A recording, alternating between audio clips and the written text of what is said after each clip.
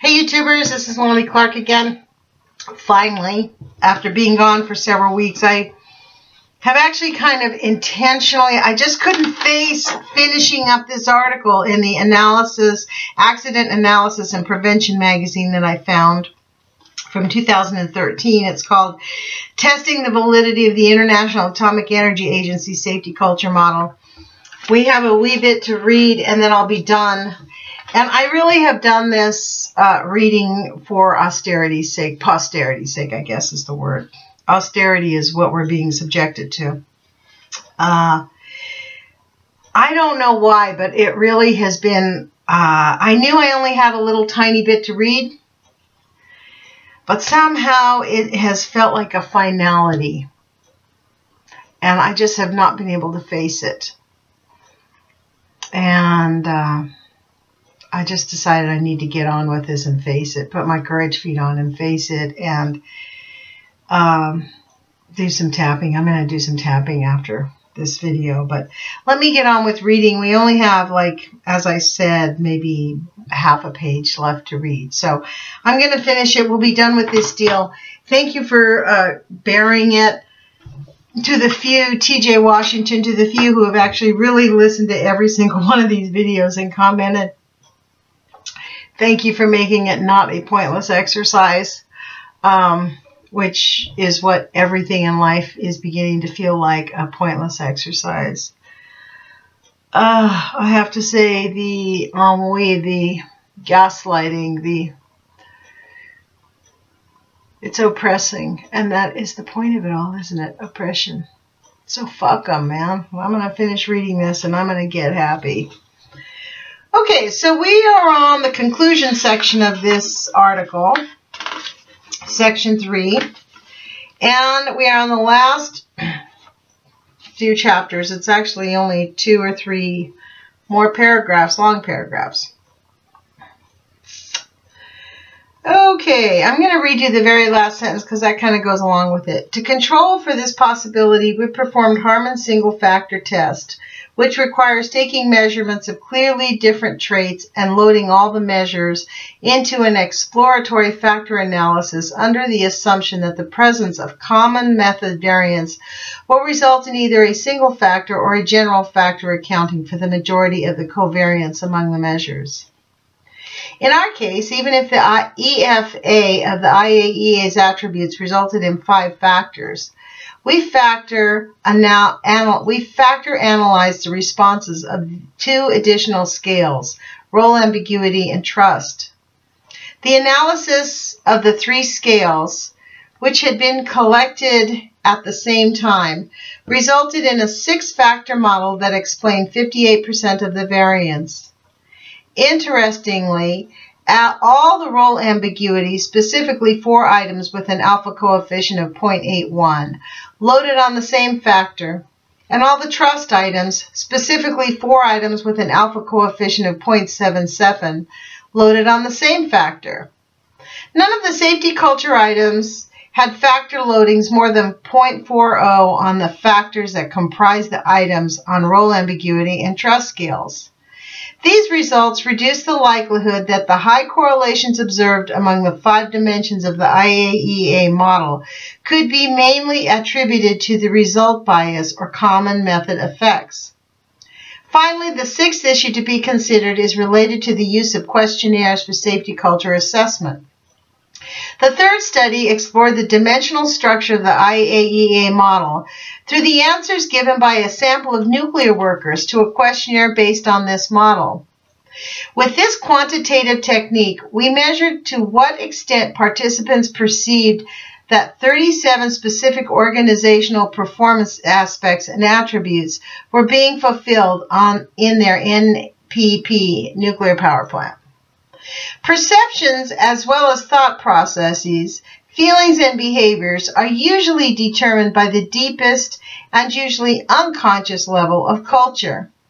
But it is believed that these underlying levels of culture can only be reached by ethnographic approaches, including intensive and extensive observations and employee interviews.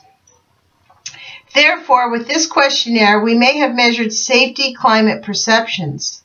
However, if these perceptions are determined by the underlying safety culture of the organization, participants' answers should, to a certain degree, reflect the existing safety culture in their organization.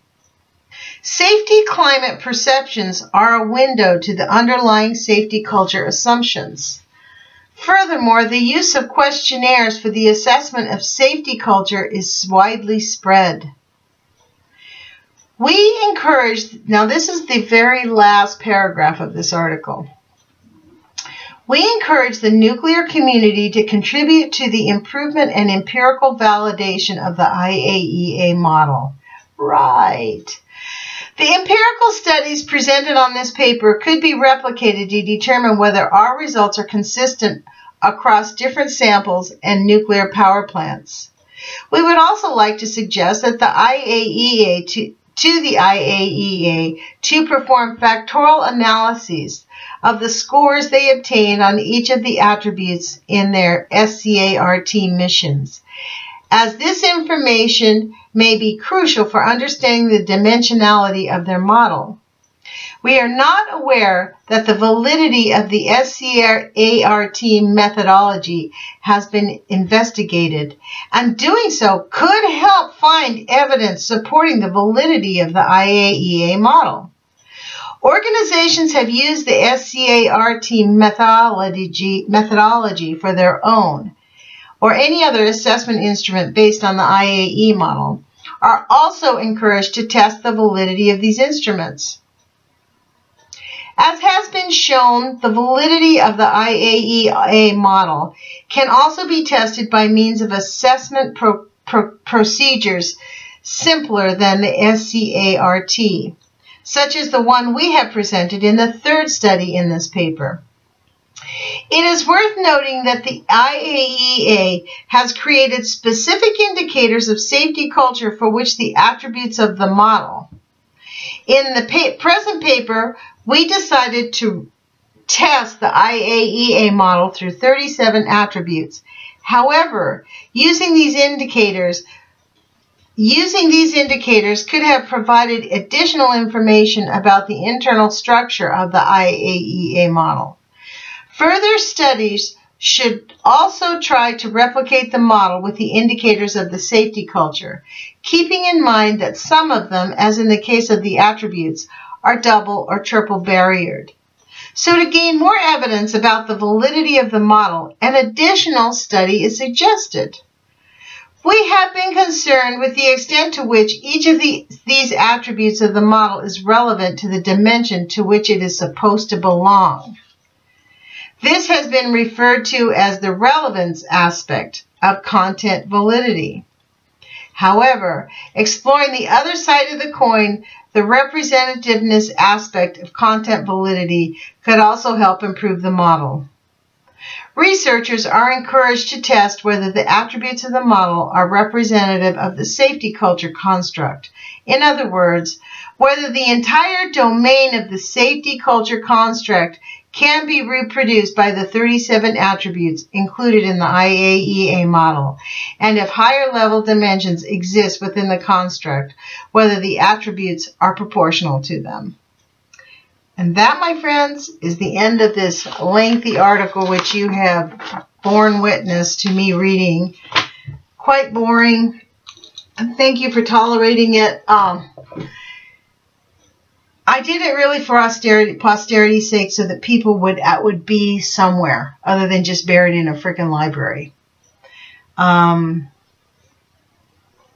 for God's sakes, we're going to really need to put our courage feet on because the shit is hitting the fan soon. Actually, it already has. Fukushima is already done. And these people are freaking lying to us. And this has already happened. Unlimited CIA funding. America's completely gone off its rocker. Uh, we don't even have a functioning government that is reflective of democracy. It's a hard comeuppance, man. Put your courage feet on, you guys, and take action. I don't know what action, but I don't know. Does that even matter? I mean, I'm, ah, I guess I need to do some tapping. Ciao.